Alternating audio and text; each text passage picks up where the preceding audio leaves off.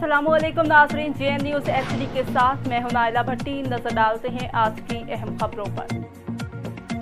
बहावलपुर वजी अला पंजाब और आई पंजाब के अहकाम की रोशनी में जिला भर में मनशियात फरोशों के खिलाफ भरपूर क्रैकडाउन। गुजशत अड़तालीस घंटे मुतद मुलजमान गिरफ़्तार करके उनके कब्जे से भारी मकदार में शराब और मनशियात बरामद कर ली। वजीला Punjab, Mohsin Naqvi inspector general of police Punjab, doctor Usman Anwar की हिदायत की जानब से मनशियात फरोशों की सरकूबी के लिए मुहिम तेज़। D P O Syed Mohammad Abbas ने जिला भर के एस एच ओज़ को स्पेशल टीम में तश्ल देकर मनशियात फरोशों की गिरफ्तारी का टास्क दिया। रोज़ाना की बुनियाद पर तमाम एस एच ओ से रिपोर्ट तलब। भावलपुर पुलिस ने मनशियात फरोशों के खिलाफ भरपूर एक्शन लेते हुए अड़तालीस घंटे में पचपन मुकदमात रजिस्टर्ड किए। गिरफ़्तार मुलजमान के कब्जे से इक्कीस सौ तैंतालीस लीटर देसी शराब, दो सौ छियासठ लीटर लहद ग्यारह अदद चालू भट्टियाँ बरामद। मुलजमान से बीस किलो छः सौ उनासी ग्राम चर्च तैंतीस ग्राम क्रिस्टल, आइस और तीन किलो भाँग बरामद हुई।